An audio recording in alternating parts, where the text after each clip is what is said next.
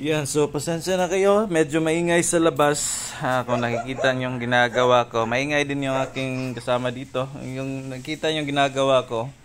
Gumagawa ko ng ano, isang malaking mansyon. Hindi pala mansyon yan.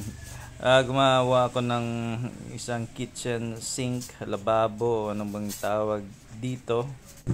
Ah, may mga techniques tayo na dapat malaman, mga tips and tricks. Ah, yun naman yung usually yung video ko na ina-upload. Yung mga bakal natin, yung ginagamit ko dyan is ah, 10mm para talagang matibay siya. Ah, gagawin ko dyan is ah, Oh, ang gagawin ko is kung familiar kayo sa insert table sa Word or sa Excel. So ganun yung ating gagawin para mag-insert tayo yung mga bakal na ah, ah, kung familiar kayo sa steel matting, ah, yun kasi yung tawag diyan, standard na tawag ng mga ah, gumagawa nito. Hindi ako permanenteng gumagawa dito.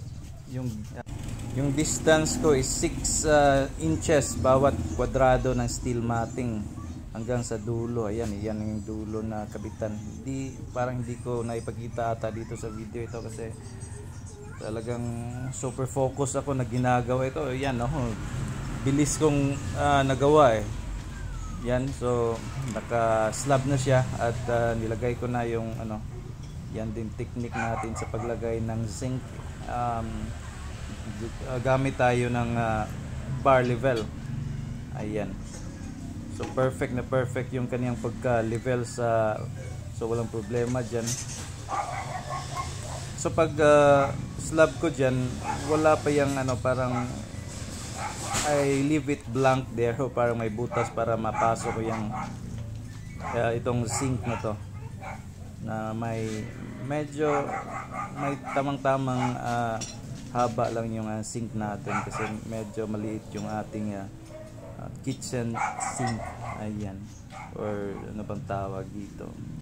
Ah, yan. Kalain yung dami kong ginawa dito sa sink na to. Hindi lang yung ah, lababo or sink yung ginawa ko. Kung makikita nyo yan sobrang ah, pangit pa yung area dito. Yan, hindi wala pa yan naka skin coat.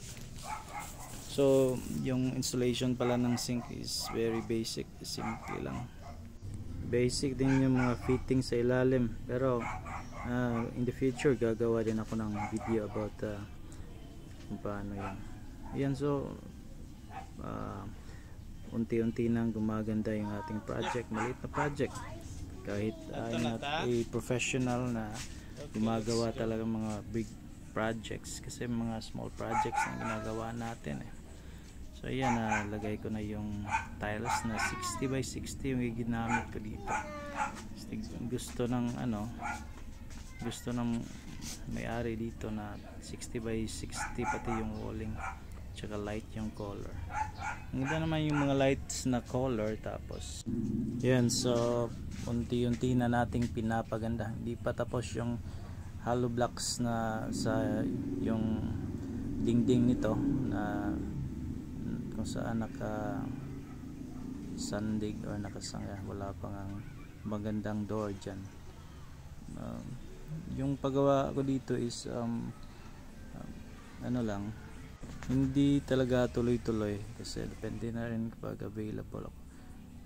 So yan na medyo mad, uh, muntik, muntikan ko na natapos or malapit ko na yan natapos nalagyan ng aparador dyan sa ilalim. Lagay pa tayo dyan ng mga aparador ng mga cabinets